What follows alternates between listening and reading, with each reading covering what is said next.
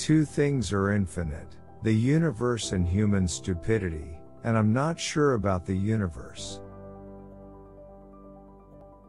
There are only two ways to live your life. One is as though nothing is a miracle. The other is as though everything is a miracle. I am enough of an artist to draw freely upon my imagination. Imagination is more important than knowledge. Knowledge is limited. Imagination encircles the world. If you want your children to be intelligent, read them fairy tales. If you want them to be more intelligent, read them more fairy tales.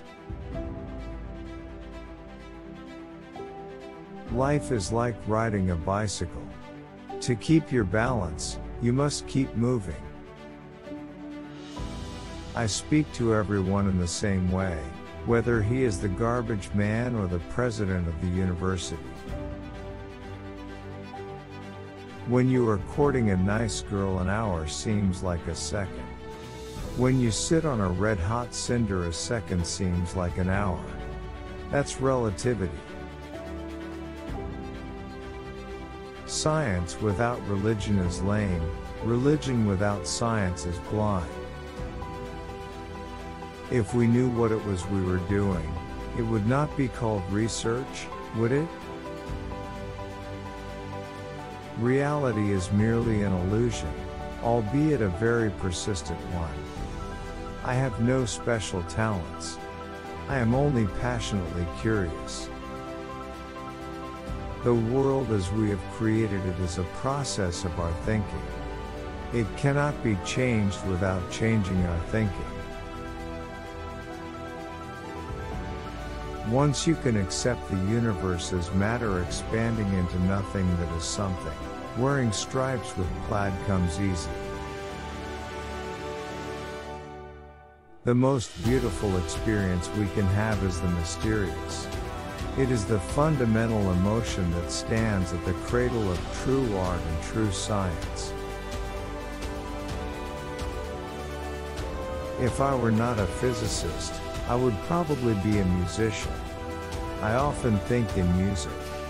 I live my daydreams in music. I see my life in terms of music.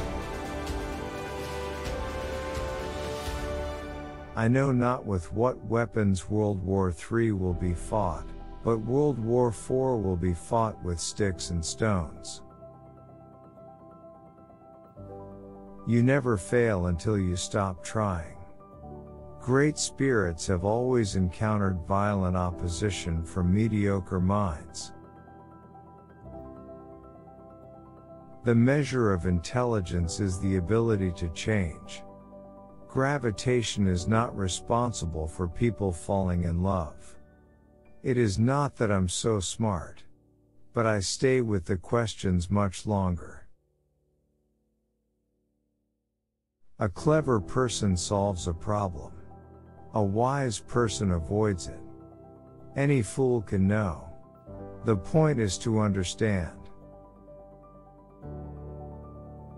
If you can't explain it to a six year old, you don't understand it yourself. Never memorize something that you can look up. Where the world ceases to be the scene of our personal hopes and wishes, where we face it as free beings admiring, asking, observing, there we enter the realm of art and science.